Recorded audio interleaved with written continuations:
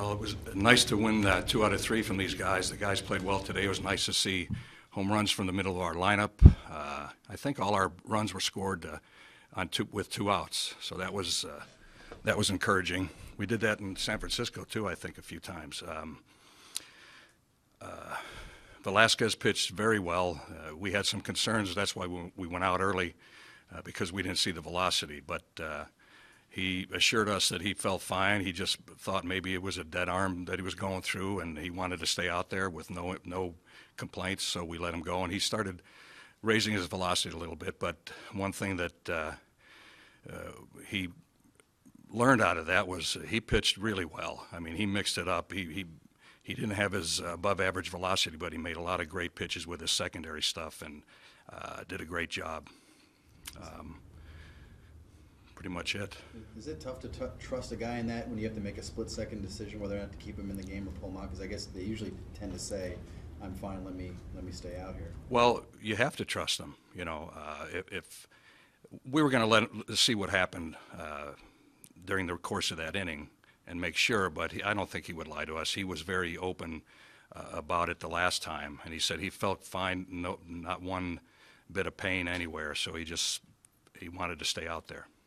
Given, given that the last time you got injured, you only lasted two pitches, was it kind of like deja vu when you headed out there after only five? You're not kidding. It was uh, we we thought, oh no, not again. But uh, once again, he assured us he was very honest last time, and we we didn't take any chances. This time, we just wanted to see if he needed to uh, stay out there and loosen up. And uh, of course, the rest is history. He, he pitched very well. So he, he wasn't in any pain when you went out there. You just saw a dip in velocity and you wanted to check. No pain.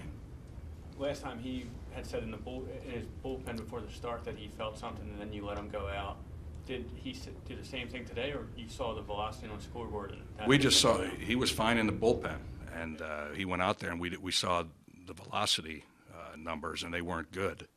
Uh, that's why we went out to make sure, and all he had to do is say one word, and we were going to take him out. But he assured us, and he wanted to stay in, and obviously.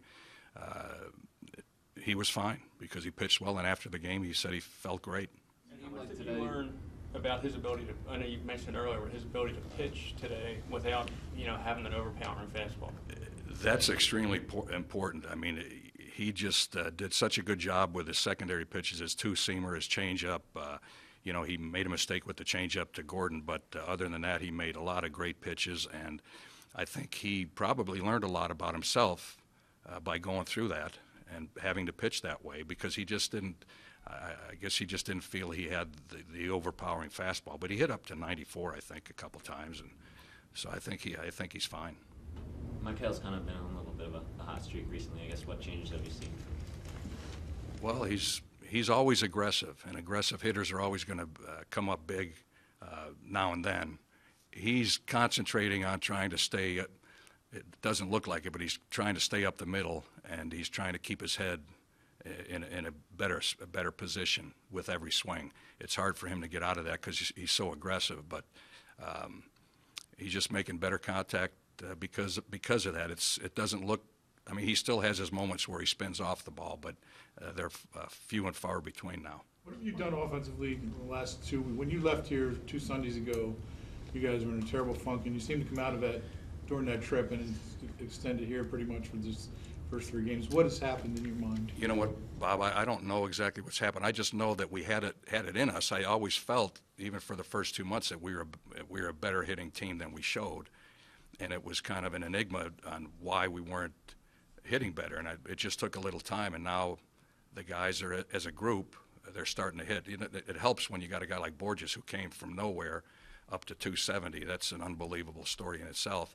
Uh, and I think you know the other players feed off of things like that. You know, it's I, well, I can do it too, and I know that's not uh, a scientific answer, but that's the best I can do. You're getting, you're getting hits up and down the lineup in these last several games. So is that a product of, I mean, these are, these guys are young and being able to feed off each other, like you sort of just touched on? Yeah, without question. You know, uh, the guys. Um, you know, it takes one or two guys to get it going. It takes a little pressure off everybody else, and I think uh, as a group, they they always pull for each other. That's one thing that uh, is very noticeable to me in the dugout. They they all pull for one another all the time, and they don't quit.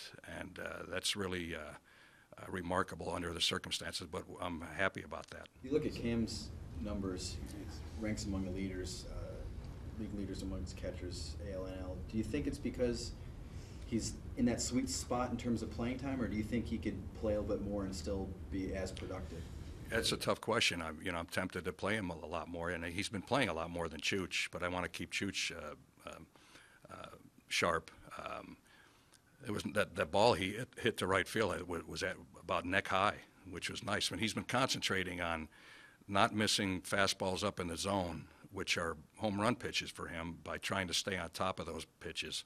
And it, it certainly looked like uh, he did that uh, today. And good to see Ashley hit the home run. And um, from the middle of the lineup, it was nice. But uh, that being said, uh, you know, things will work its way out. I think part of not playing as much could keep him strong. You know, he's a big guy. Uh, that could be part of it too. Did you guys make a, did you guys make a decision on uh, Nola yet? Yeah, he's, gotcha. he's going to miss his start. We're going to keep him around and uh, just clear his head, uh, give him a little bit, ti- little bit of time off. We'll probably have like a simulated game at some point uh, to keep, get him back on the mound, but he will start uh, again after the, the uh, break. So who's gonna start on Thursday? We don't, we're going to determine that over the next three days. From, from a team standpoint and an offense standpoint, do you feel like you've come out the other side from that awful stretch you went through? Do you feel like you've, you've come out of that now and you, and that's passed? I think we've come out of it, Bob, only because uh, we've sustained our, our uh, offense since we left on the road trip, and we've carried it through into coming back home. So, you know, we've gone through a, quite a, what, 10 days or so to where we've been swinging the bats pretty well as a group. And I think because of that, uh, we're going to, you know, we're behind where we were before, or ahead of where we were before. You, you said you thought it would, but. I did you thought have it some would. Sleepless nights and doubts because it was so extended. Yeah, well, no doubt, you know, and like I said, uh, I think when Peter Bourjos started hitting, uh, everybody kind of, they, they kind of woke up and said, hey, let's go. I mean, that was, that's a fabulous uh, run he's gone through. Back on Nola for a second. Uh, is- Yesterday, you had no questions because of fireworks, now everybody's asking questions. Sorry. Cooney. Uh, i- Is the point, you say simulate game, I mean, do you think it's gonna be time for him to correct mechanical issues on the side? Is that what Well, I think he, looking for? those last three innings that he pitched, um, I, it- it looked like he corrected his mechanical uh, problems, but you just don't want him to go that long without being on the mound. And we don't want him to start uh, uh, just to get him back on the mound. Then he'll come back uh, after the break. Talking about Rupp again, how much more significant has he made his role at this point than you maybe thought he would have at the end of last season? He's really, uh, um, he's really making a run at it. I mean, this guy is, what's he up to, 290, 280 something uh, with, with power? And, um, you know, we're looking for guys that can hit. And, uh, you know, the catching position's a- mostly a defensive position. He's done adequately uh, as a catcher. He's got a, uh, you know, a strong arm. But now the fact that he's hitting and with power is a real, uh, real treat. I mean, it's good to see.